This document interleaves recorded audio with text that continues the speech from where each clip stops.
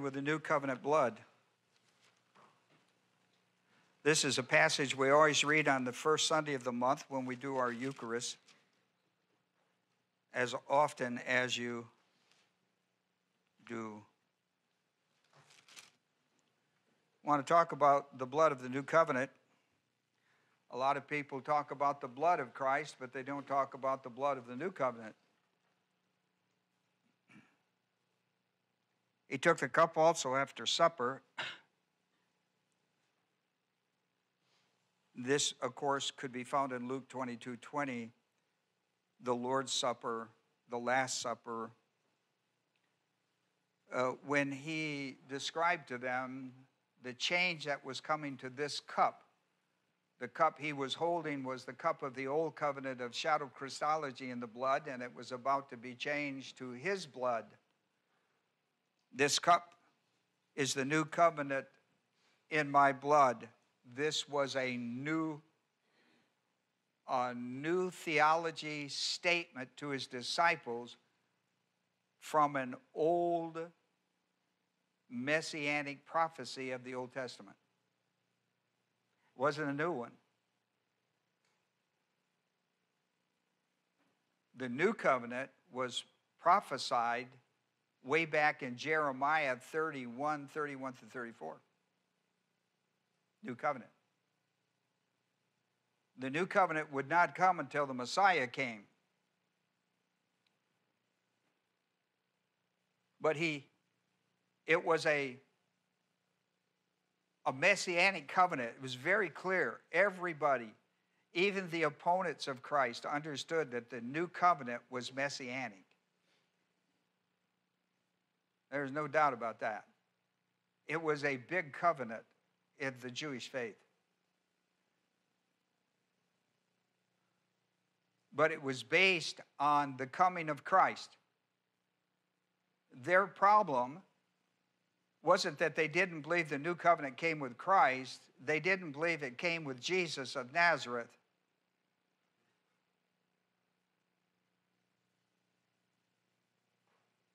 And many still don't.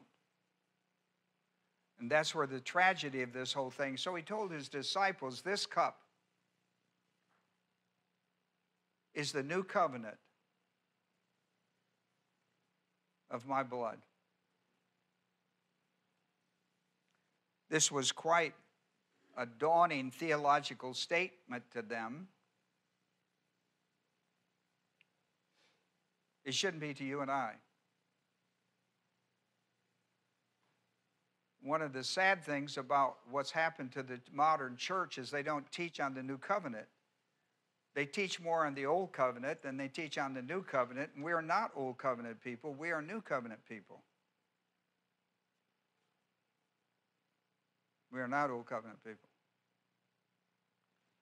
We are new covenant people, and we know little about it, and that's a shame. This thing has been in existence for 2,000 years, and we know little about it. A lot of people t- t- teach on the blood of Christ, but they don't teach it to understand that it's new covenant blood. What, what, what, what is he talking about here? This, he said, This cup is a new covenant in my blood. Do this as often as you drink it in remembrance of me. And so we're talking about what we have done. He said, when, when you take part in the Eucharist or the Lord's Supper, communion, however you want to think of it. We think of it here in this church as Eucharist because of the word giving thanks. If you, if you recall from this passage in verse 24, when he talks about the bread, the word giving thanks is where you get the word Eucharist in the Greek language means giving thanks. To be grateful for God's grace is what it actually means, so that you have a thankful heart. Grace should give you a thankful heart. Work shouldn't. Works is wages, grace is gift. For by grace are you saved through faith, and not of yourself, it's a gift. Ephesians 2 8 9. So the writer, uh, Paul, has laid this thing out uh, as a as a new covenant theological doctrine. So what we have been doing is talking about the blood of Christ in the cup. Because listen, here's what people miss. As often as you watch what he says now in verse 25, do this as often as you drink it in what? In remembrance. Remembrance of what? What's the cup represent? The blood of Christ. So you're to remember that the cup represents the blood of Christ. And what did the blood of Christ give you? Why is the cup of the blood of Christ important? So here's what we've done we've told you the nine doctrines connected, the nine things, the nine new covenant doctrines connected to the blood of Christ. The content. So when you drink, now we give you grape juice. When you drink the juice, the contents of the cup, your mind should be reflecting on the salvation of the blood of Christ, what it has secured for you by grace, not by works. For example, this there are nine doctrines connected to that. Your mind. What did he say to do this in what? Say it. What what? Remembrance. That's recall. Remembrance. You can't remember something you don't know.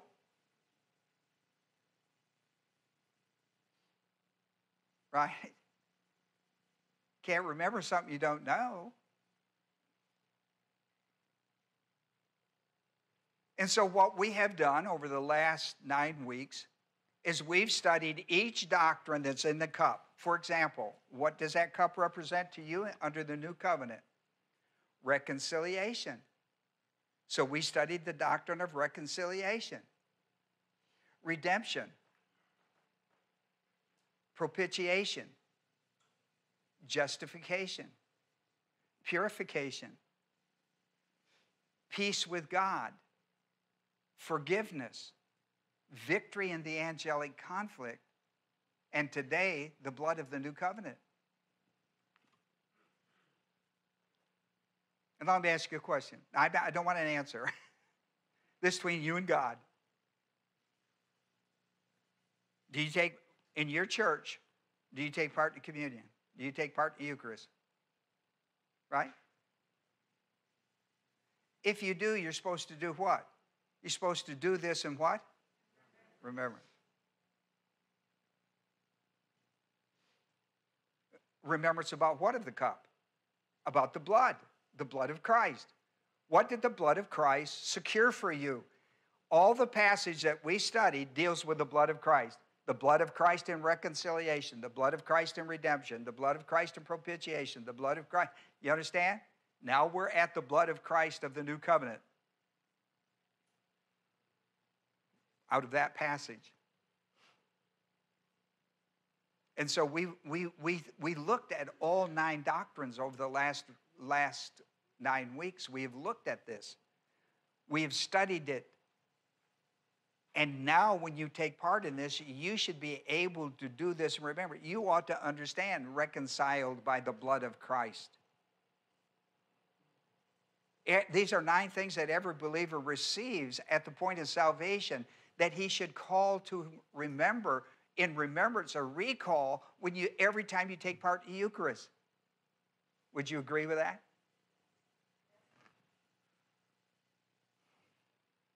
Well, we should come into agreement on that. And so, if you've never studied these nine doctrines, you can pick them up off our website, doctrinalstudies.com. You can pick them up. Look for this specific series on Sunday that, that we're in our ninth lesson today. And so we're going to talk about the new covenant. It is the blood of the new covenant. And we're going to talk about that after a word of prayer. Remember that the Bible is a spiritual book for spiritual people for spiritual living. That means, again, it's a book for the redeemed of the Lord. Those who believe that Christ died for their sins, was buried, and raised from the dead the third day, called the gospel, It is the power of God to save those who believe it. And therefore, you're saved by grace through faith and not of yourself as a gift of God. But the moment you got saved, you received nine works of the Holy Spirit under the new covenant.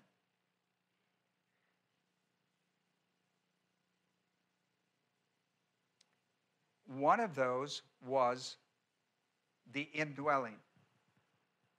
1 Corinthians 6 19 and 20. What? Don't you know that your body became the temple of God when you believed the gospel? It became the temple of God. Your body became the temple of God, the naos, the place where the blood of Christ cleansed it, a place where the blood of Christ does the cleansing.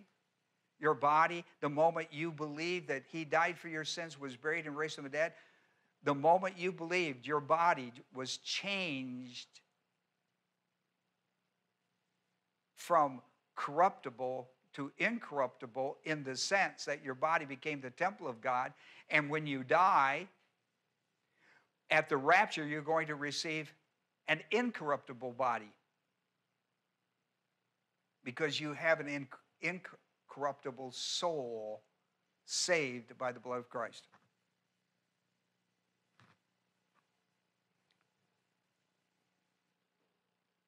Now the problem isn't that not that you're not saved, and the problem is not if you believe the gospel, you're saved. It's not that you're not indwelt. The moment you believed, you were indwelt. Galatians 3 2 says, at the moment of salvation, you received the Holy Spirit. That's what makes you a spiritual person. The problem is not that. The problem is you can be a carnal believer or a spiritual believer, 1 Corinthians 3. Evidence of carnality is personal sin. It could be mental attitude sins, it could be sins of the tongue or overt sins. And if you're aware of that, you will be if the Holy Spirit has any activity in your life. You will be aware of it, and once you're aware of it, you're to confess it. 1 John 1 9 says, If we confess our sins, He, God, is faithful and just to forgive us and cleanse us. And that allows you to study the Bible as a spiritual person under the ministry of the Holy Spirit to get the spiritual truth that sets you free from the cosmic system of lies, John 8 32. So let's do that. And then we'll have our morning study. Let's do that. Every head bowed, every eye closed, offer you privacy to yourself and others around you. As a believer priest, according to 1 Peter 2, you have the privilege and responsibility to confess personal sin whenever you're aware of it so that you can be a spiritual person in the devil's world, that you can be the salt of the earth and the light to the world for Christ. And so, our Father, we thank you today for all that your grace has provided us and your mercy has given us. Pray the Holy Spirit would minister the truth of the blood of the new covenant to us, Father, as we look at the new covenant and the dynamics of it for our, our life, because this is the dispensation of the new covenant. This is the dispensation that introduces it to the world. So I thank you for that privilege, Father, in Jesus' name. Amen.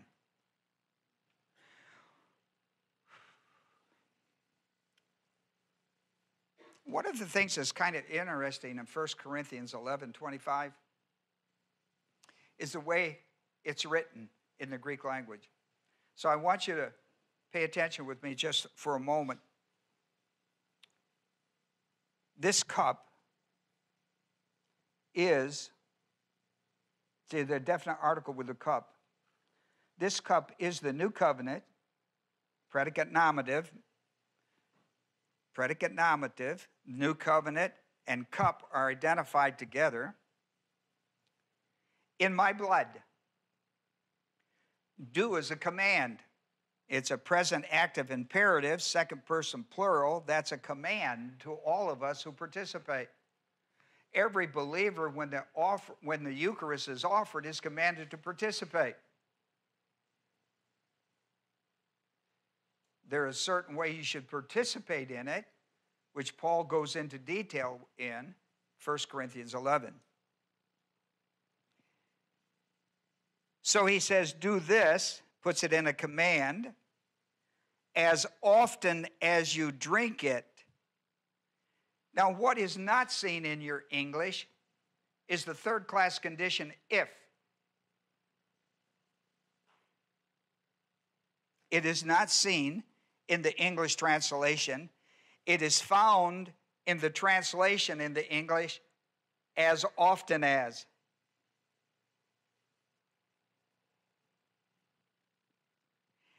It is a third class condition, and the word drink is a present active subjunctive. As often as you drink,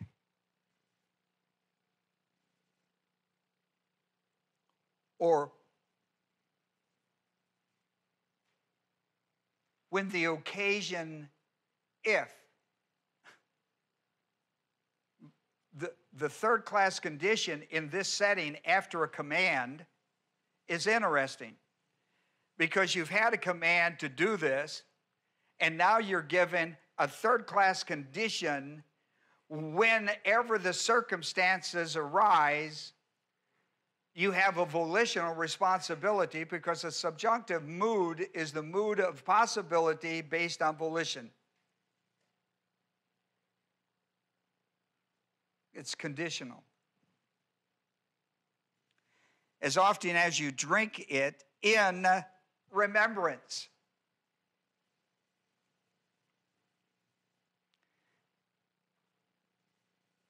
One of the works of the Holy Spirit in John 14, 26, under the new covenant, would be to recall pertinent doctrine.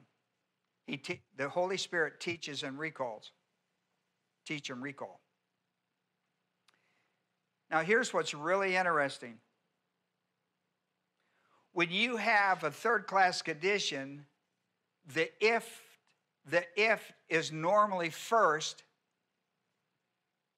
in translation and then you have the then part, you have a protasis, if such and such, you have an apodosis, then such and such. Are you with me? Writer didn't do that. Paul did not do that. Paul put the apodosis first. He put the then, the then, or the, the, the then part, not the if part. He said, Do this, preceding the protasis of the if.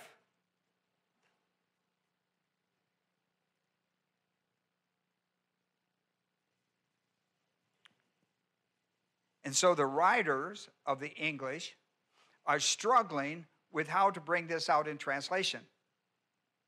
How do I make this from, how do I take this from the Greek and put it into the English where it makes sense for the common person. And they did a pretty good job with it. I don't know that we see the dynamics of what they said with the little phrase as often as. But it's pretty dynamic in the Greek language.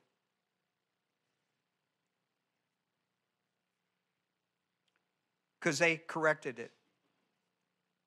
They, they put it in more if then. Paul made a point by not of not doing that in the Greek language. And when, a, when you do that in the Greek language, when you take a phrase that should be one way and put it backwards, it's for emphasis.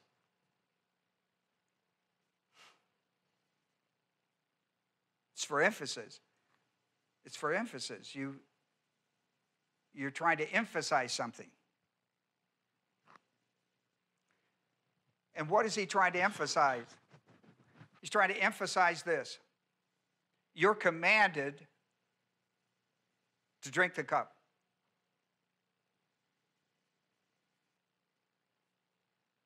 Listen to me.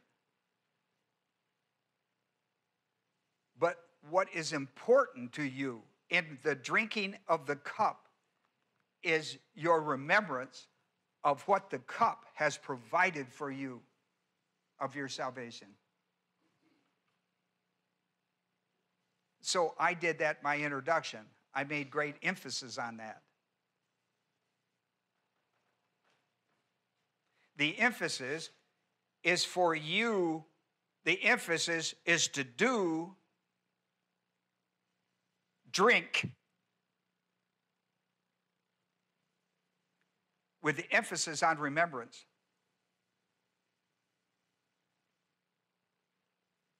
Do you understand that?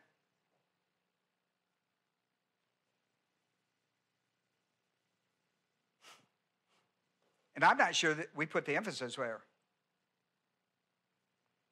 But it should be. The emphasis should be on remembrance. When you drink, the remembrance of the cup and the command to do it in remembrance is the issue.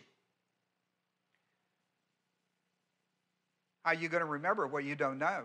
That's my point. How are you going to remember? When the emphasis is on remember, when you drink, how are you going to remember what you don't know? And so people go through ritual without reality. They go through the motions of the Eucharist or the Lord's Supper. They go through it. They drink the cup, but it has, it has no, no remembrance. It has no gratitude. It has no understanding of what Christ did for our salvation, what he took to replace. What did he take? He took our sins and judgment and condemnation and wrath, and in place gave us reconciliation and redemption and propitiation and yada, yada. The Eucharist should be a solemn moment both with the bread and the cup, but especially the cup. Especially the cup. Because the cup is about the blood and what the blood has purchased for you.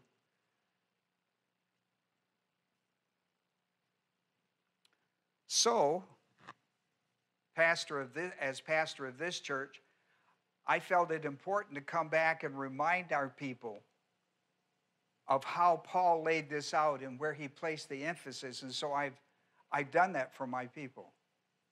It is important when we take part in the Eucharist that we do it in remembrance of what the purchase price for our salvation was and why we shouldn't take it lightly. So I've got three points this morning. We'll see how far we get.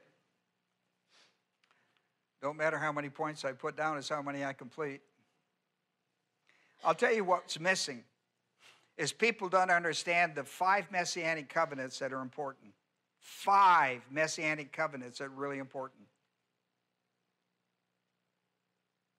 And they're interlinked. Now, when you look at these five, and I want you to look at point number one, when you look at these five, I want you to notice Adamic conditional. See that word conditional? I want you to circle it. Abrahamic, notice that's unconditional. Notice Mosaic, it's conditional. Circle that. Notice that the Davidic covenant is unconditional, and notice that the new covenant is unconditional. No conditions necessary or conditions are necessary. Are you with me? It's really important you understand that. Did you circle the two? That's why you come to church. There's a pencil in the pew. There's a reason why we call this class church class.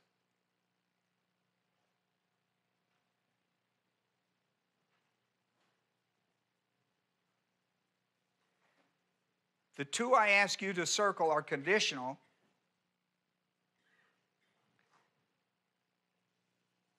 And here's what they're designed to do under point one the two conditional covenants Adamic and Mosaic.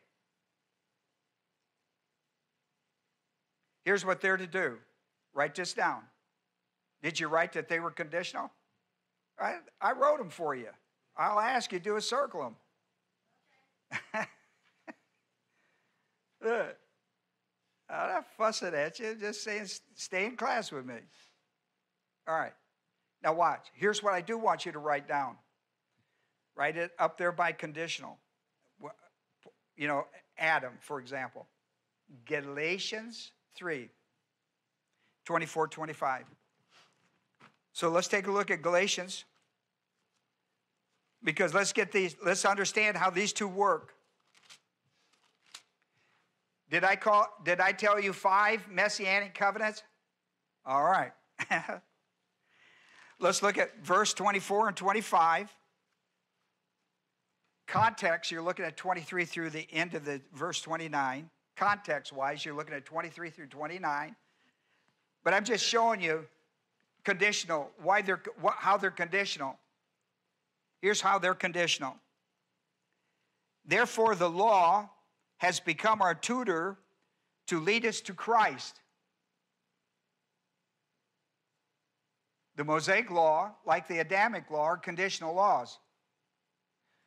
Conditional covenants are to do what? Conditional covenants, like the Mosaic covenant and the Adamic covenant, are conditional covenant. A conditional covenant, what's what as far as Messiah, Christ, what was it supposed to do? What are they supposed to do? Lead you to Christ.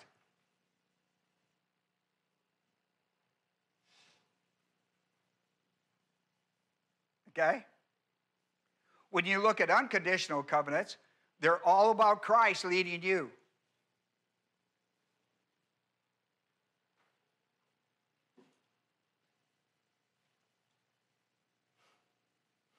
Christ comes and he fulfills them.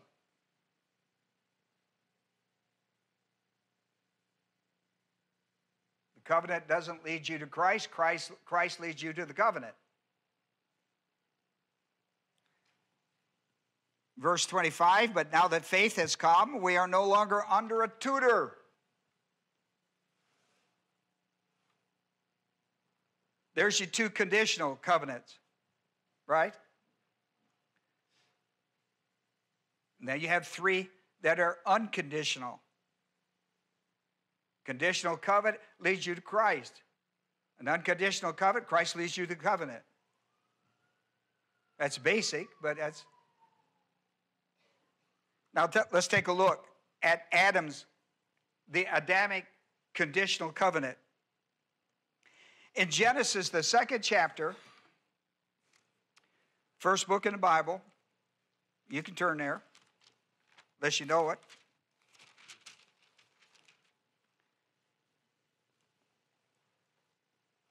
I'm not impressed that you know it, I'm impressed that you know where it is.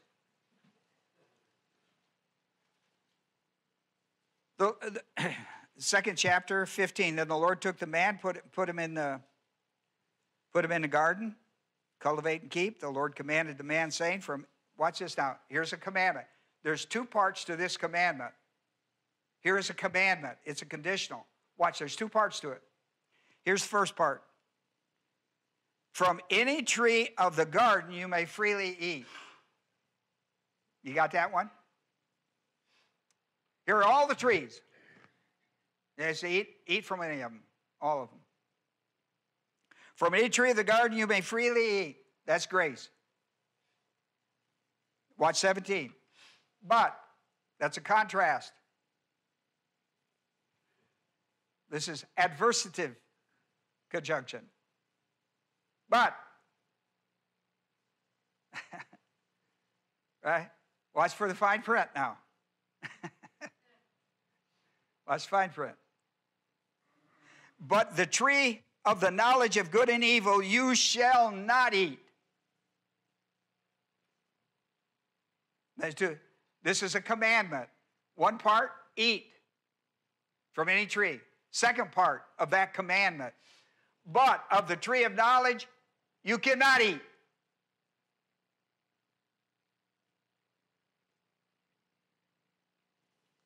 For, explanatory, for in the day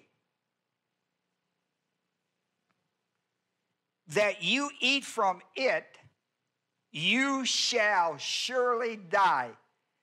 In the Greek language, that's muth muth, qal imperfect to a qal infinitive, or a qal infinitive to a qal imperfect, and it gives you an absolute. It's a way in the Hebrew to tell you, that's the, in the English, they translated it surely. actually it says, dying you will die. Literally, it says, dying you will die in the Hebrew. In other words, it's going to involve two deaths.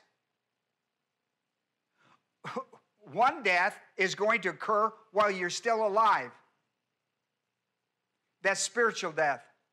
Separation from God in time, and it depends on your volition if it's eternal.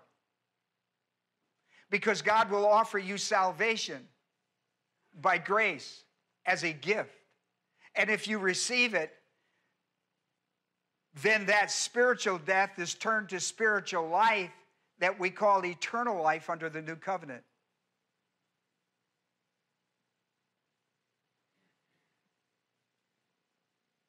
After an Adam and Eve ate from that tree that day, they died spiritually. And they lived 900 years and, and more later and then died physically. Die you will die.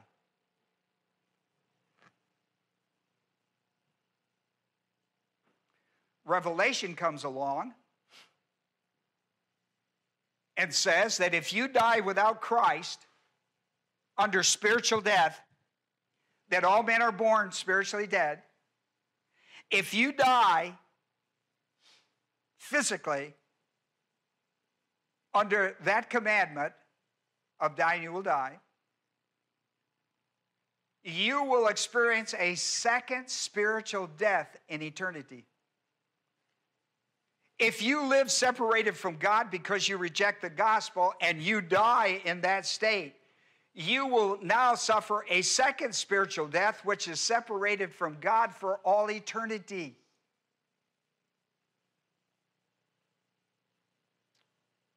Book the book of Revelation.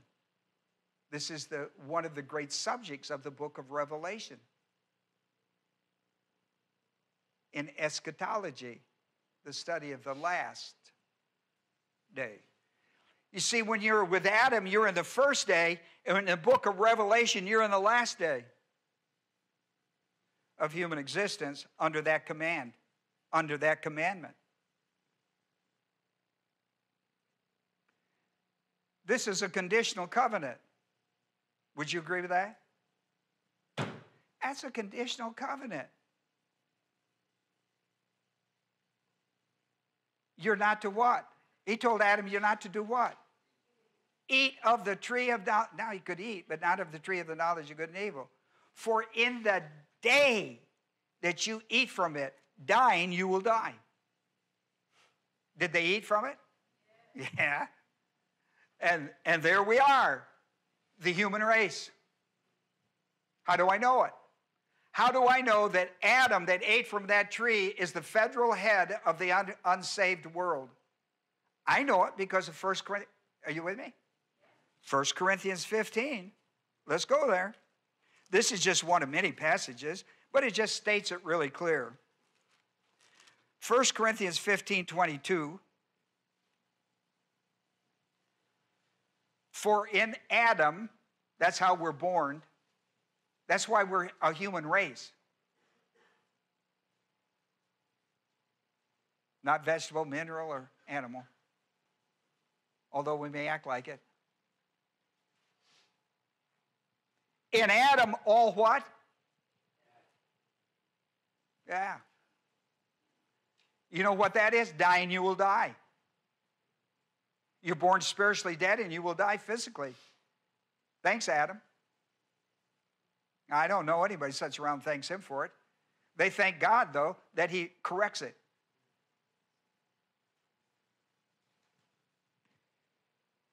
For in Adam all die, so also what? In Christ. How do I get from Adam into Christ? Colossians 1 13, 14. Colossians 1 13, 14. How do I get from in Adam to in Christ? Christ goes to the cross. He dies on the cross. He's buried. He's raised from the dead. That's called the gospel. When you believe the gospel, Colossians 1 13, 14 says, God rescues you from the world of darkness and transfers you into the kingdom of the beloved Son in Christ. That's how you get out of Adam and into Christ through the gospel of Jesus Christ. And there's no other way. Jesus said it well when he said, I am the way, the truth, and the life, and no man can come to the Father except through me. That's why he offers the cup of the Eucharist and he says, This cup is my blood offered for the salvation of the world because of Adam's sin. You know why you need to be saved? Do you know why every human being needs to be saved? And why he cannot save himself is because of Adam's sin. In Adam's sin, we all die. In Christ's death, burial, and back to life, one is removed and the other is given, and that life is called eternal life. In 1 Corinthians 15 45, for those who are interested, because you have your Bible open, the first man, Adam, became a living soul. The last Adam, who is that? Christ is a life giving spirit. And so, you see, the first covenant that's really important was a conditional covenant, and a conditional covenant, according to Galatians, the third chapter, 24 and 25, is to do what? Lead you to what? Christ. The covenant leads you to Christ.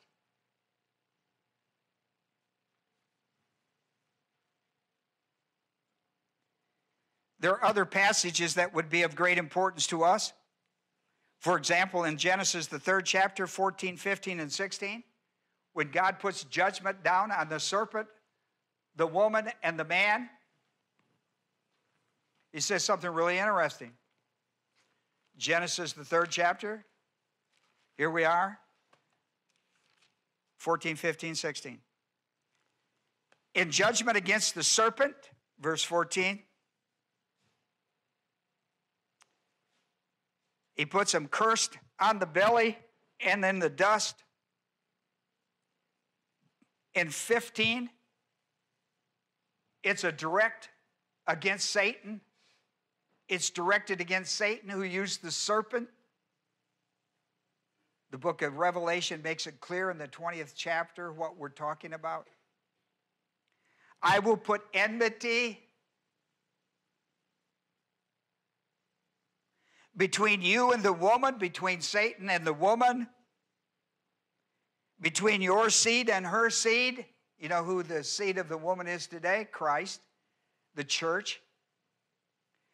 You shall bruise him on the heel, and he will bruise you on the head, and you shall bruise him on the heel.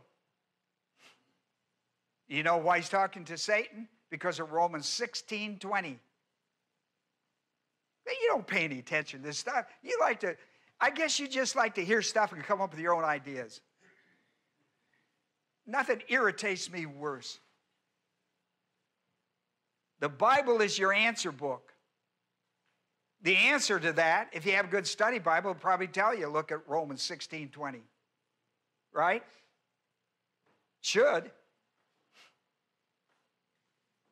It says Jesus Christ will crush, crush the head of Satan. In the second coming of Jesus Christ, he will crush the head of Satan.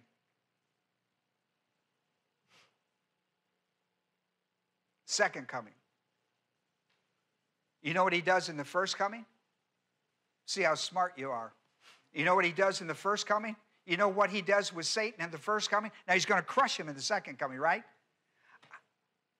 Romans, the 16th chapter, verse 20. You know where I'm getting all this? Studied the Bible. I studied the Bible. You know why you come to this church? If you come and stay, it's because you want to study the Bible. If you don't come and stay, it's because you don't care about it. You just rather come up with your own ideas. So here we are in 1 John. Here we are. This is what Christ does in his first coming. We know what he's going to do in the second coming. He's going to crush his head. That's and listen, you know who believes it more than you? Satan. But he, he believes that. Whether you believe it or not, he knows it to be true because God said it. That'd be wise for us all to get on that page. Here I am in 1 John 3 8. Here's what he does in the first coming. The one who practices sin is of the devil, for the devil has sinned from the beginning. Yep. The Son of the Son of God appeared for this purpose, first coming, that he might destroy the what? Works. Not destroy Satan. He won't be destroyed till the second coming of Christ, and you can read about it in the 19th chapter and the 20th chapter of Revelation. But what he did in the first coming was he destroyed his works. You see, works, listen, works is all about the devil, grace is all about God.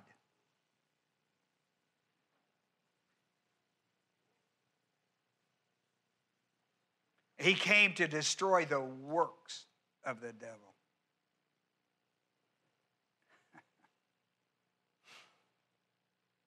Let me tell you, he loves to put his foot into your life. You know how he does it? Works.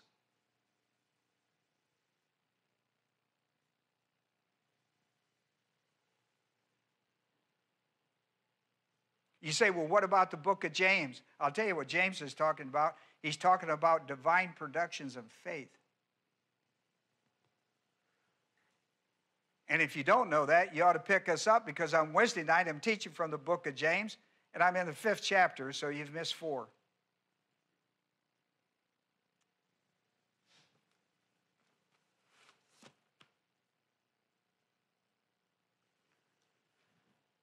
In verse 16 of Revelation, or uh, of Genesis 3:16, let me go back. Apparently, I'm not going to get very far today. Listen, I get far enough if you'll believe anything. My job is to bring the information and you to put faith in it. I can't put faith in you, but I can put information on you. Here's what he says to the woman. Here's what he says to the woman who was involved in the fall of mankind. And to the woman he said, I will greatly multiply your pain in childbirth. In pain you shall bring forth children. Yet your desire shall be to your husband, and he shall rule over you. Well, yeah, I bet you hate that one, don't you, girls? Bet you hate that one.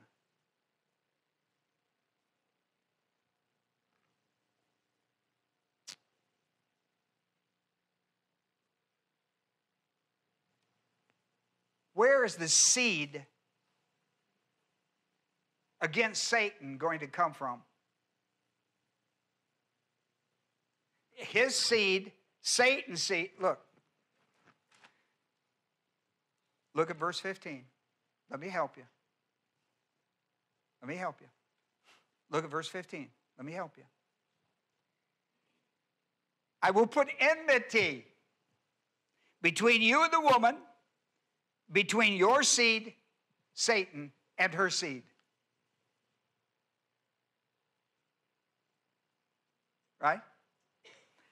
The seed of the woman, the seed of the woman is going to take us all the way in Luke, the third chapter. Luke, the third chapter, is going to take the seed of the woman. All right, look. I'm just paid to teach. I, you know, thank you. But I teach this whether I was paid or not. I hope you know that. Are you turning to Luke, third chapter with me? It's important. I wouldn't ask you if it wasn't. Third chapter. Go the very last verse of the chapter.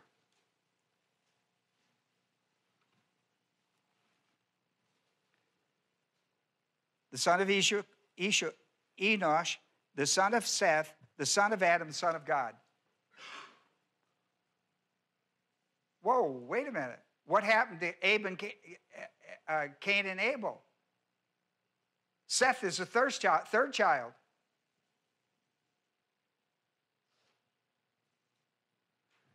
What happened to the two other kids?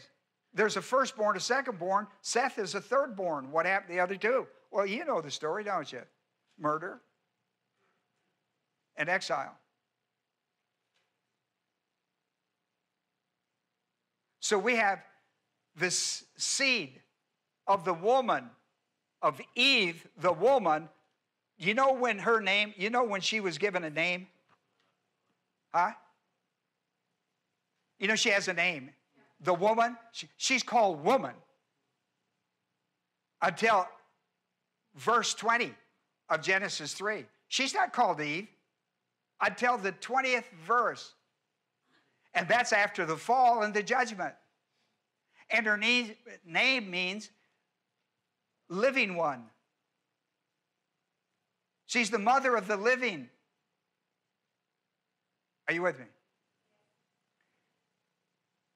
But the seed, she's the mother of the living, but the seed is what's important to the plan of God, not the fact that she's the mother of the living. She had Cain and Abel. Did it come out too good? I mean, they came out good, but you know what I mean. The outcome. You see, we start with Seth because he's the seed. Now watch. Are you with me? Now we go for we go with the woman's seed. Talked about in verse 15, explained in verse 16. Now look, we're going to we're going to run we're at the very last of the ch- chapter 3 of Luke. Are you with me? We run our finger up all the way up until we get to verse 23. See, we started from the bottom of the page and we're going to the top. Are you with it? verse 23? Because you see, it started with Adam. We went from the first Adam to the last Adam. Or if you were reading from the normal Greek, uh, Luke 3, you went from the last Adam to the first Adam. But to make my point, I went from the last. I went back, backwards on it, just to make a point. Because we're talking about the woman's seed, which is Christ. The woman's seed is Christ. That's the point. And the seed of the woman is Christ, the Savior of the world to correct the problem of Adam in the human race. Do you understand that? Golly, bum, I'm out of time. well, look, don't go anywhere with me. Now look at verse 23. Now we're going to have a cup of coffee and a donut. Okay? At halftime. You come downstairs and have a have a have a cup of coffee and a donut. Here's how this Here's how it began in verse 23. I started from the bottom, worked my way to the top. When he began his ministry, Jesus himself was about 30 years of age, being supposedly the son of Joseph, the son of Eli. Look at, we're talking about Jesus Christ, who is the seed, the, the physical reason for the whole seed concept is the birth, the incarnation of Jesus Christ, born, born conceived by the Holy Spirit in the womb of Mary. Luke 1 32 through 35. The seed has now been fulfilled. That whole seed business from the first Adam is now fulfilled in the last Adam, and the last Adam, Jesus Christ, and that's going to bring you into all of the unconditional covenants.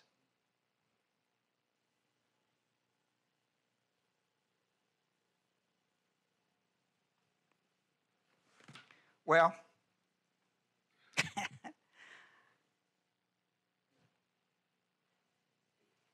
I got point one in the first covenant done, and my lesson is over. All right? Tony has the second hour, has my second class. I'll be back next week. For those on the internet, same place, same time, same hour. Uh, and we'll go through a second covenant. First covenant. These, these, two, uh, these two conditional covenants are so important for us to understand how the new covenant is superior because of the person and work of Jesus Christ. Whew. Let's pray. The men will take the offering. If you're a guest, uh, by that you know whether you're a member or not. If you're a guest, you're a member if you come more than once. No, you have to come about three times, I suppose. I don't know. We have a sliding scale, apparently. The men will take an offering, but this, listen, this meal has been paid for. This is, we thank you for coming. Our Father, we're thankful for all that your grace has provided us. Looking at the new covenant, Father, what a wonderful day. And what a wonderful day to be alive in the kingdom for Christ. The church age, wow, Father, it's the age of the introduction of the new covenant to the world and to the church. What a wonderful thing this is, Father, for us. And I pray, Father, as we get into the nitty gritty of all of this over the next few weeks, we would teach our people the just the phenomenal time we live under the new covenant of the church age. Nothing like it ever, Father. We're so thankful that you chose us to live in this period of time rather than any other period. Take this offering, Father, and may we be good missionaries around the world with the gospel of Christ, a message of grace, a message of grace. For we've made our prayer in Jesus' name. Amen.